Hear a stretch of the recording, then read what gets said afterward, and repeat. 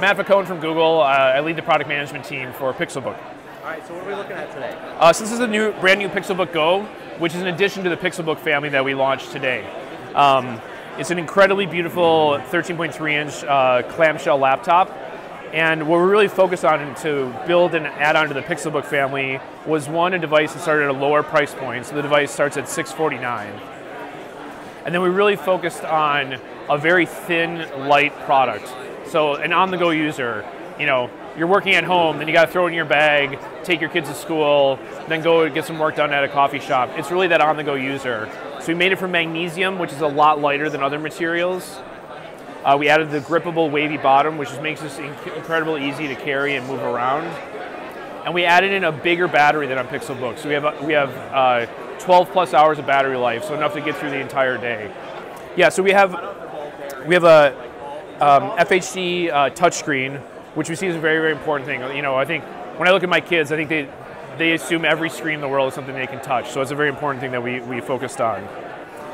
Um, in terms of ports, we have uh, dual USB-C ports on either side, uh, along, along, with a 3.5 millimeter headset jack.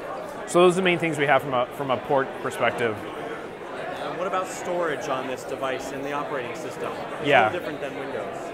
Yeah, so the operating system is Chrome OS, which is an operating system from Google that we've been started building 10 years ago. Um, and in fact, you know, I think it's about 60% of K through 12 students in the United States are using Chromebooks now and Chromebooks are, are the only thing that are growing in the laptop industry. So we're really, really proud of what we've been doing with Chrome OS. Uh, Chrome OS is much more secure. Um, antivirus is built in, automatic updates in the background. It's incredibly fast. You open the device, you boot up, and you go into it, getting things done. And if a lot of what you're doing is, you know, working on the web or working with mobile applications like the ones you have on your phone, those are what are available on the device. And um, show me how it opens up. Uh, yeah, it's a little bit hard here, but here. yeah, yeah. So one thing, you know, our, our, engineering team and our design team really good attention to detail. So we want to make sure that you could be able to open it just with one finger.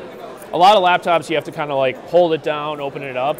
So again, for that on-the-go user where you're juggling multiple things, we wanted something that was very, very simple to use.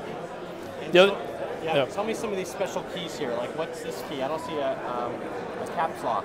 Uh, yeah, so all Chromebooks actually we don't have caps lock. So this is uh, this is this is the launcher key. So it just brings up the launcher menu, which shows you all your applications, and as well as a bar where you can do Google search. And then we have the assistant key, which with uh, with Pixelbook uh, two years ago we started this. So, oh, sorry, I'm in guest mode right now. Um, we're in guest mode. We're, we're in guest mode. assistant? Yeah, so it activates the assistant. You can do it in two ways. You can say OK Google, voice command, and it'll operate just like a Google Home Mini. Um, or you can press the key. And we actually see about 50% of the use is people pressing the key.